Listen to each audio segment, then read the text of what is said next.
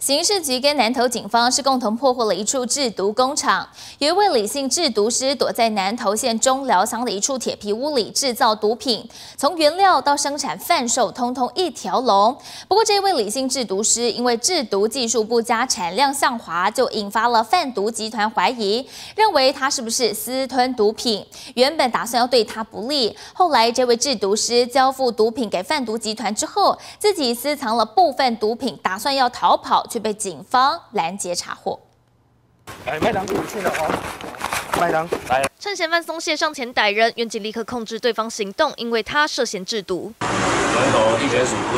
遭警方包围上铐，嫌犯只好束手就擒。日前警方接获情资，这名李姓男子设立制毒工厂，为了躲避查缉，还特地选在南投县中寮乡偏僻山区树林内搭建铁皮屋。警方不敢大意，伪装成登山客，暗中调查，历时五个月搜证，发动两波查缉行动，逮回李姓制毒师与许姓共犯。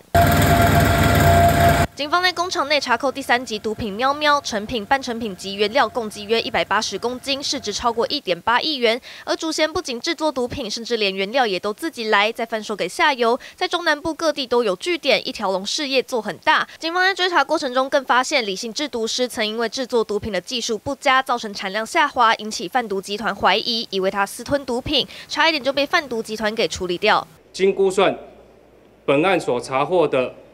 毒品以及所有的原料，哦，可以制成六十万包的毒品咖啡包。大批毒品差点流入市面，所幸被警方及时拦阻。现在警方还要持续追缉其余贩毒集团共犯，要将他们全部逮捕归案。记者曹慧杨文豪南投报道。